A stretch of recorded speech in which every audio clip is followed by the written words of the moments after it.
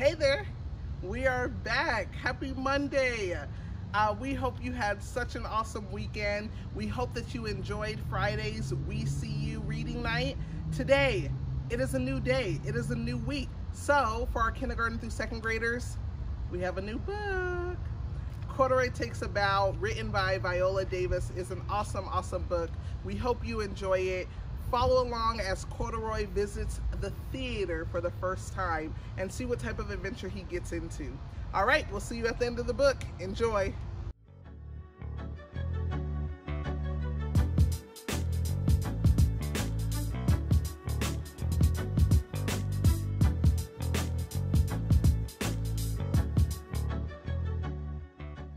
Corduroy Takes a Bow, written by Viola Davis based on the characters created by Don Freeman.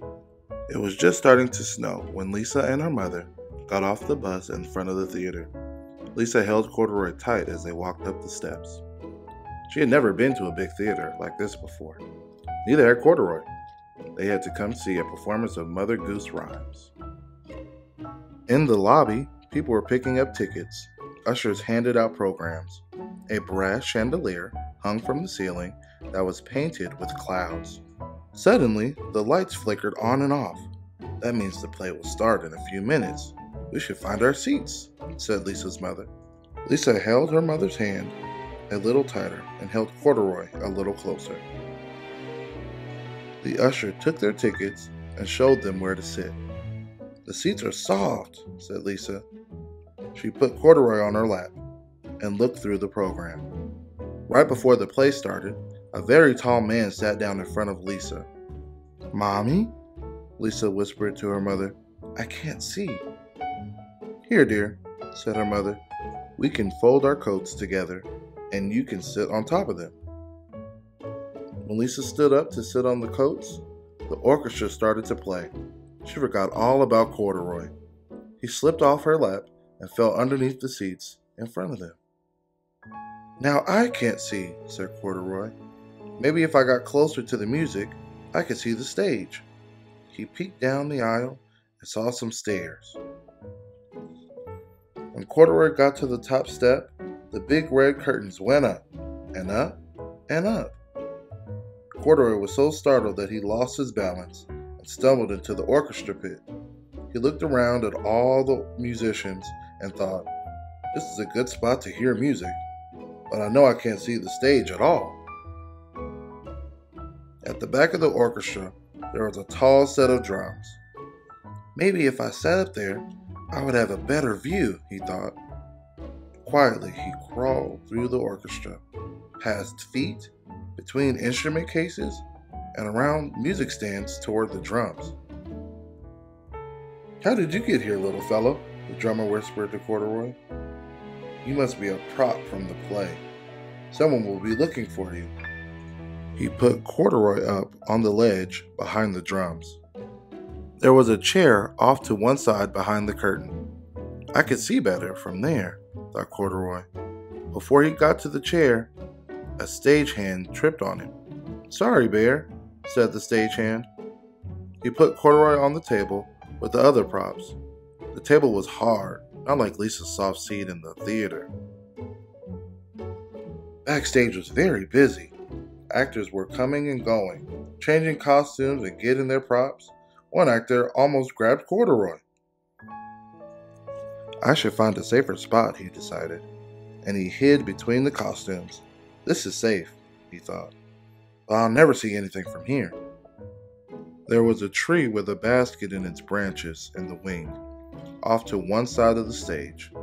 I would be able to see from there, Corduroy thought, and he climbed up the tree and into the basket. Well, thought Corduroy, this is more like it. Not too high, not too low. This is just right. He settled in and watched the Mother Goose performance. I love the theater, said Corduroy.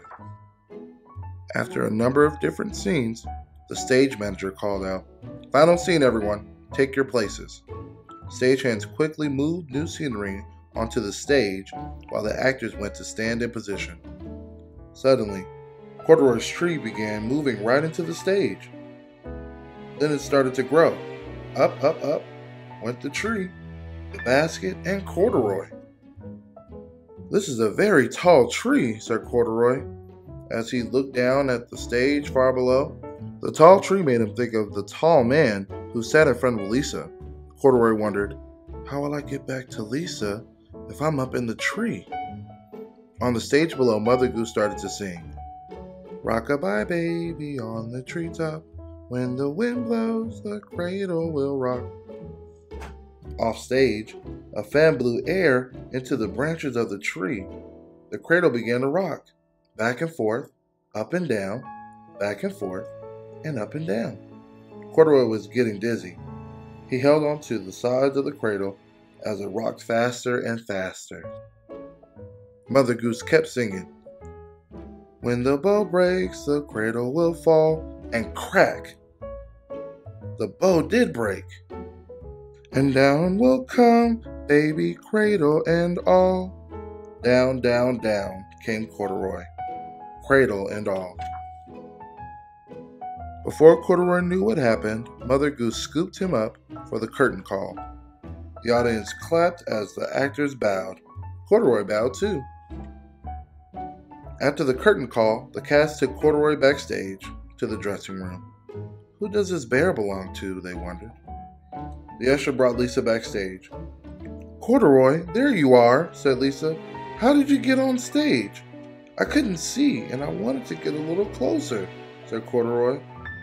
Oh, Corduroy, said Lisa. You certainly got closer. The very next day, Lisa made a theater just for Corduroy. He could see everything from a nice, safe place. The end.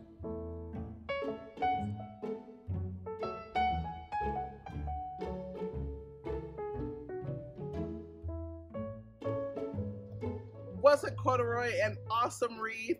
How wild is it that he got to become an actor himself? We love Corduroy. All right, well, thank you so much for reading with us for this Monday. I am very excited because this is our first full week of reading. We will see you back here on Wednesday on our Sawubona Culture um, We See You Reading Night. Our next book is The Awesome, The Amazing Sulwe, written by Lupita Nyong'o, who is an actress. Um, you can see her on the back cover. It is an awesome book. Um, we know you will enjoy it, so we'll see you back here on Wednesday. Before you go, though, in the comment section, drop what your favorite part of Corduroy Takes a Bow was, and um, let's chat in the comments. All right, please don't forget to subscribe to our Sawubona Culture YouTube channel so you get all the alerts for the books we put out. And then also check out some of the other grade level books. They are fun books if you're looking for more reading. Please read those as well. As always, we'll see you next time.